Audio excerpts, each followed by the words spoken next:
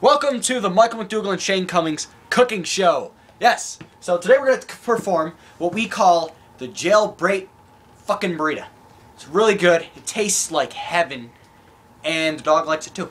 So, first off, you start off with your basic ramen noodle packet. This is chicken flavored. Honestly, this is what every real cellmate needs.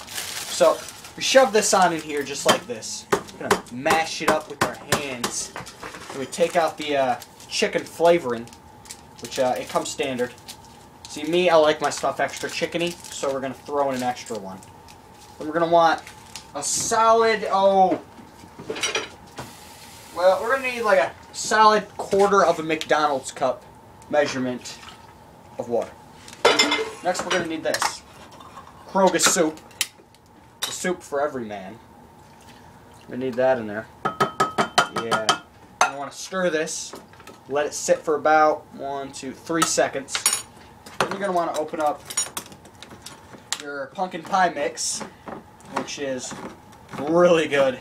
This stuff, honestly, I like to eat this raw because it just makes my penis so fucking hard. But this is great. All right, so scoop that on out of there. Ooh, that actually smells good. Take a smell of that. Mm. Mm. Uh, Oh, Ooh, that's pretty. It does smell pretty good. but it tastes like shit.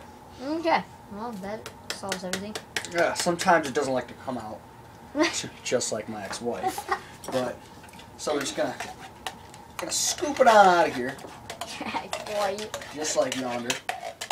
And uh, my ex-wife never put out, so I guess technically this is much better. So we're gonna fill that up. You want a, tea, a little teaspoon of sugar.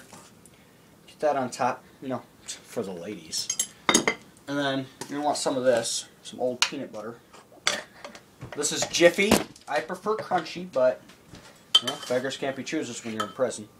So you want to tie that off the top. And then you're gonna want some of this. Little quick grits. This was expired in 1996, so admire its flavor. Yeah. Oh yeah. Okay. So after that, a little bit of coffee creamer. And then my personal favorite. Not a lot of people put this in here, but I always do.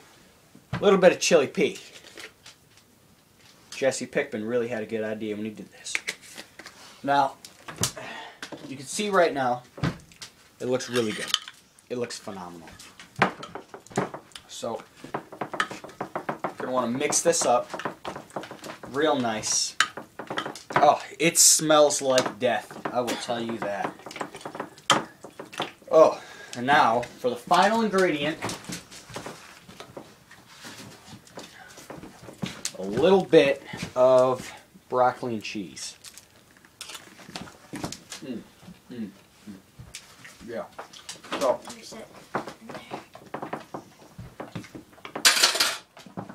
I'm gonna want to mix that up a little bit more.